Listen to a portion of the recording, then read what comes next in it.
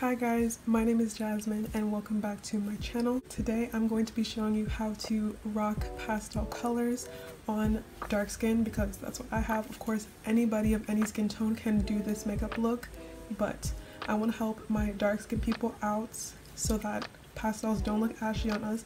As you can see, this is far from ashy, okay? So if you want to learn how to get this look, please keep on watching.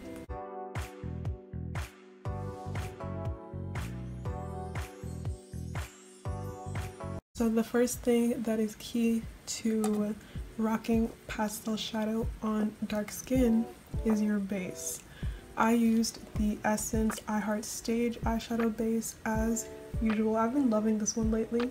It's not completely white as you can see, but it is lighter than my skin tone. You don't have to use a base that's completely white, just lighter than your skin tone significantly. Clearly this is not my skin color girl. That's what I recommend when using any type of color but especially for pastels especially if you're doing an all pastel look that's not what we're doing today but if you're doing a look that's all pastel you need a good base.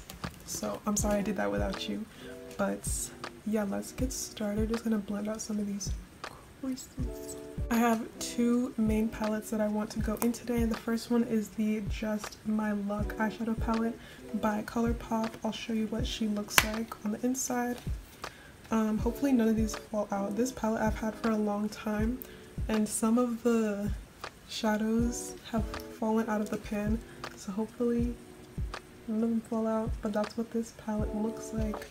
Really pretty just green palette and I'm also going to be using the Huda Beauty Emerald Obsessions palette just because I think I like the pastel green, the one in the top middle here. I like that one more than the pastel green in the ColourPop palette. Per I don't know why.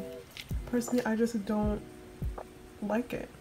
If you have this palette, you can definitely use that color, but she's not giving, in my opinion. She's not giving for this look. So, we're going to start with the ColourPop Just My Luck palette, and the first color I'm going to go into is the one in the middle here called Mary Jane. It's just a nice deep green and I'm just going to pack this into my crease.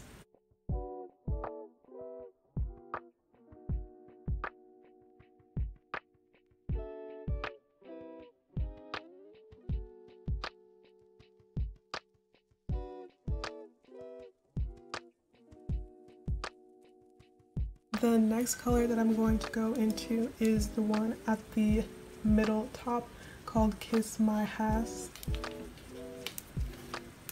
Kiss My Ass. Girl. and I'm just going to use that color to blend out Mary Jane, just the edges. This color is almost a pastel green, but it's not, it pretty much is. Now that I'm looking at it on my eye, it is pretty pastel, but it's not very light to where it looks ashy because if you think about it pastels tend to be honestly they're ashy. They're ashy and that's why I think people with darker skin tones are afraid to use them. But we literally can use any color. Any color girl. We can use any color we want. You just have to know how to make it work so that it does not look ashy. You know what I'm saying?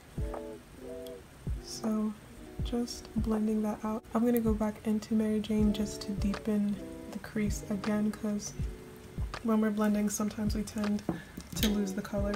As you can see this palette has some kickback which is okay. It's still, that's okay with me. I'm gonna dip a little bit into So So up here as well mixing that with Mary Jane just so the green is as deep as possible. And we're just going to use that to redefine the crease again. When you guys are blending your eyeshadow, do you have an eye that you prefer? I feel like mine changes, but today I think I'm liking how this eye is looking better than this eye.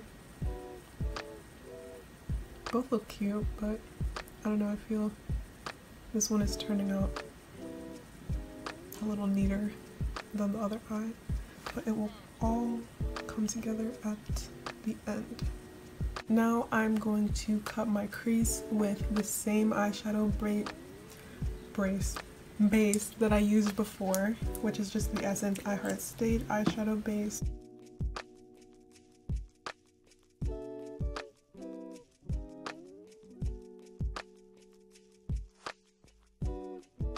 I'm going to use the same deep green shade that I used in my crease called Mary Jane.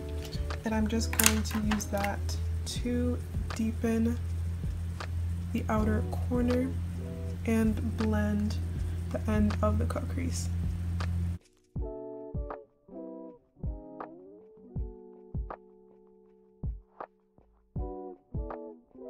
After that, now we're going to go into the pastel color, what everybody is here for. You could use Chances Are, which is the pastel shade in the Just My Luck palette, if you have this palette, but as I said before, I don't really, I'm not really feeling her.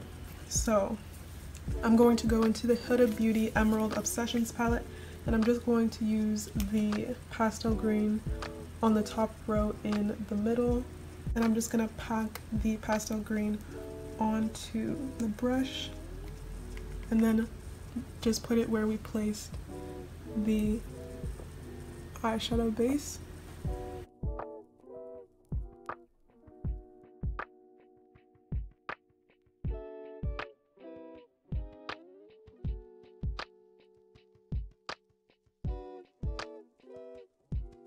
After that is placed, I'm going to use my brush that I used for that deep green shade to just further blend the edges. I also took it upon myself to take my brush that I used for the crease and I just wiggled it around where I cut my crease. This just makes the shadow appear softer, which I think is really pretty with pastel colors like this. And that is it for the eye look for now. We can go back my lashes and stuff later. Now we're going to move on to the face and my face is feeling really dry so I need to moisturize. This is the closest moisturizer to me. This is the Drunk Elephant Lala Retro Whipped Cream. I really like the packaging of this. This was kindly sent to me by Drunk Elephant so thank you for sending this to me. This was sent to me a couple of months ago and I've only recently started using it and I actually really like it and I absolutely love the packaging basically all you do, can you see that? Basically all you do is you just push down and then the product comes out. I think that is so cute. I'm just gonna moisturize my face really quick. One of my favorite moisturizers ever is the Milk Makeup Vegan Milk Moisturizer. That one is definitely less expensive than the Drunk Elephant one, but that one is all the way in the bathroom and I did not want to get up to go and get it, so I just used the one that was closest to me. Recently, I've been loving the new Black Radiance primers. Today, I'm going to be using the Matte and Poreless primer as well as the Hydrate and Blur primer. I think these primers are amazing. They're super affordable and I've been using them all the time. So I'm going to use the Hydrate and Blur on like most of my face and then the matte and poreless on the areas where I tend to get a little bit more oily. Now today I actually think I want to color correct a little bit. I'm going to be using the Fenty Beauty Concealer in the shade 440 to color correct around my lips and like the lower half of my face. It's a little bit darker here. Sometimes I would use it under my eyes, but praise be to God that I don't look as dark under my eyes. So I just use a little bit around my mouth. Literally, I just said that. and I just blend it out with a beauty sponge. Beauty sponge. I can't talk today.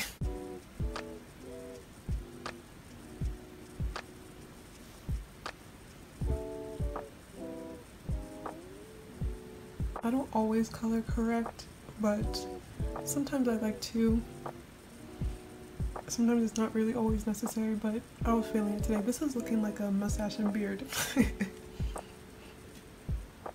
I think that helps to like balance everything out a little bit more.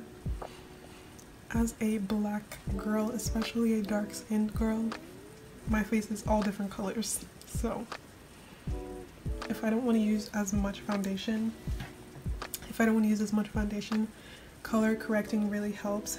And today I'm going to be using the NYX Can't Stop Won't Stop Full Coverage Foundation in the shade Mocha. I've been reaching for this foundation a lot recently. I don't know why, I've just been loving this foundation. Like, she's amazing and I've had her for so long. And I just would not use her as much. But now, she's getting the recognition that she deserves from me.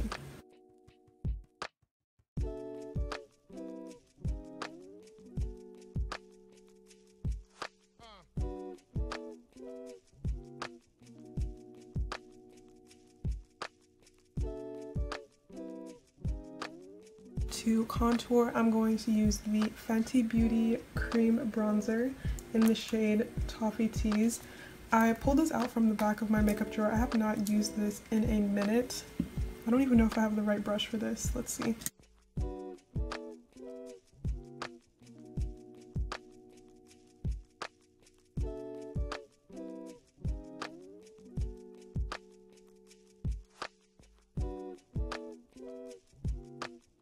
Concealer, I'm going to use the Fenty Beauty concealer in the shade 410 as well as the Juvia's Place concealer in the shade 22 to highlight a little bit more.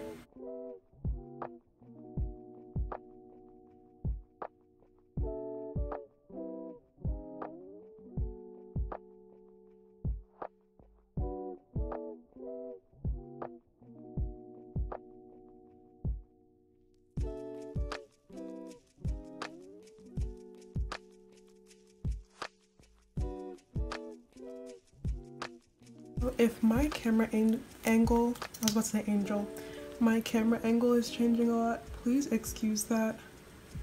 My, I'm having technical difficulties today. I don't know why everything is just playing with me and I'm not the one to be played with today. I don't, I just don't know what's going on. So you may or may not notice, but if my camera angle is changing a lot, then that is why I think I fixed it, but That was irritating me a lot just now. I just spent like 10 minutes trying to fix it. Now to set my face, I'm going to use my favorite setting powder ever. This is the Huda Beauty Easy Bake Loose Baking and Setting Powder in the shade Blondie. I have been loving Blondie lately. I got it a little while ago. If you watch some of my older videos, you know I used to use um, Kunafa, which was nice. That was a nice um, yellow shade but this one is a little bit um what's called? Lighter. And y'all know I love a bright under eye as you can see. So I really love to use that. I really love to use this powder to make my under eye as bright as possible. It just melts into the skin. It just looks so beautiful. And I like to get this little mini makeup sponge and use that to bake the part of my eye that I highlight and also the sides and the bridge of my nose. And it's just a dry sponge. I don't wet it. Now to bronze I'm going to be using the Morphe Glamour Bronze Face and Body Bronzer in the shade Leader. This is what it looks like. It's a gigantic bronzer. This is another old favorite of mine I used to use this bronzer all the time and then I got a bunch of new ones. I was really obsessed with the, and I still am really obsessed with the Makeup Revolution br um, bronzer that I'm using right now. This one is amazing as well. And they even have a shade darker than this called Prodigy, I believe. I want to get that one too. It's like a powder contour. I'm also going to use it to contour my nose. I don't wipe, actually I usually, not usually, sometimes I don't wipe away the powder before contouring my nose, but I think today I'm going to do that. And the reason why I bake before I contour my nose is because I think it provides like almost like a um, guideline for where to contour rather than like cleaning it up. I don't really think that does anything on my face personally. So I like to bake the sides of my nose before I actually contour or sometimes I'll leave the powder and contour but today I'm gonna wipe it away and I really blend the powder into the nose so that it doesn't have any harsh lines but you can still see a little bit of a contour. I don't know if it's showing up on camera as much but it basically just provides a guideline for where you contour your nose.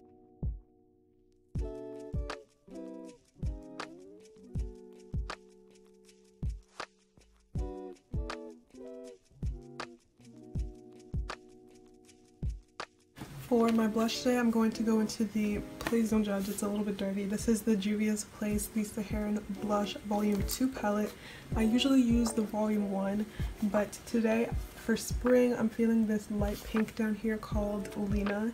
It's just a really pretty pale pink color. I just think pale pinks, oh.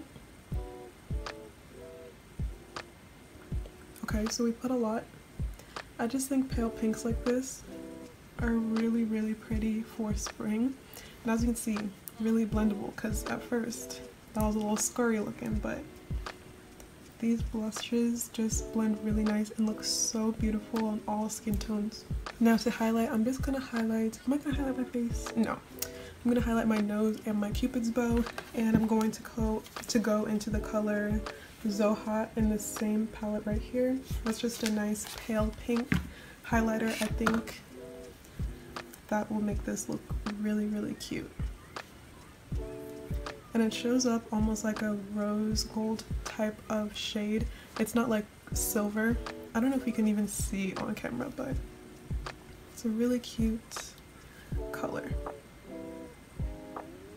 Going back into the Just My Luck palette, I'm going to use the shades Mary Jane and Kiss My Ass to smoke out the lower lash line and then I'm thinking I'm also going to put some of this NYX Epic Wear Liner Stick in my waterline. This is in the shade Pure White. Yeah.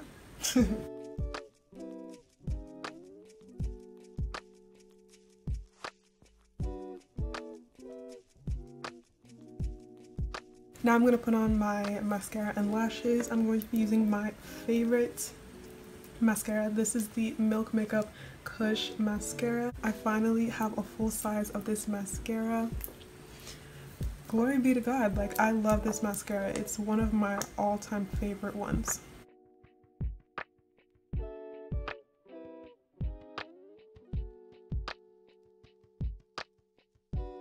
Lastly, moving on to lips, I'm going to use my two favorite lip liners, which are the Makeup Forever Artist Color Pencil in the shade Dimensional Dark Brown and the Juvia's Place lip liner in the shade Kola.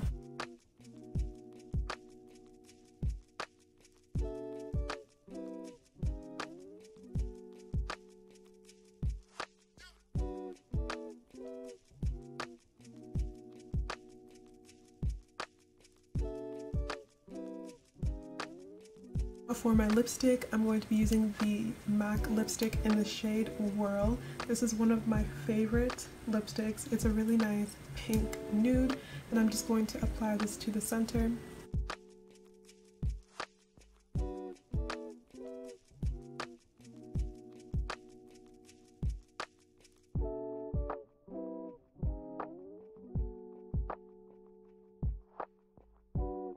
For my lip gloss, I'm going to be using the Fenty Beauty Gloss Bomb Cream in the shade Fenty Glow.